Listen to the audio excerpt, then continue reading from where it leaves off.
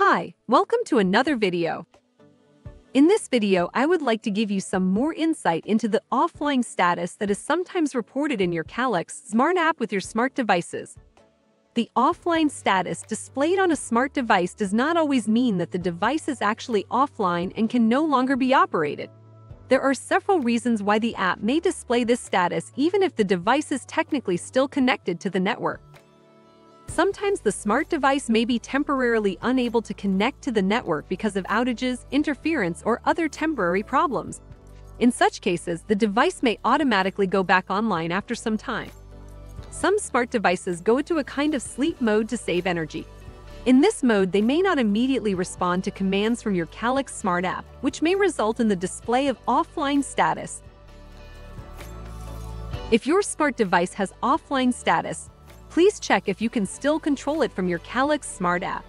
If this works as normal, then you can ignore the offline status, it will recover by itself. If you can no longer operate the smart device, follow these steps to solve the problem. Check the power supply. Make sure the smart device is turned on and there is power going to the device. Check that the plug is properly connected and that there are no problems with the power source. Check the internet connection. Make sure your home network is functioning properly.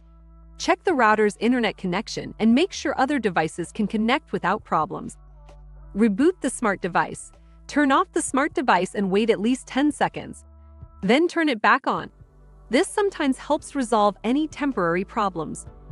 Check the Wi-Fi signal. Check if the Wi-Fi signal at the smart device location is strong enough. A weak signal may result in connection problems.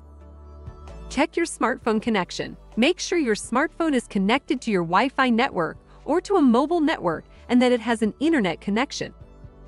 In most situations, you can resolve an offline notification with these steps. There is also a chance that an outage is with your internet provider. Check your internet provider's website for this. If the problem persists, contact our customer service department. To do so, go to the website help.calex.eu and select Submit a Request at the top right. Make sure you have the article number of your smart device handy. They can provide further assistance or handle any warranty issues. I hope with this video I have been able to give you more clarity on how best to act when your smart device has the status offline in your Calex Smart app. Hope to see you back at another video.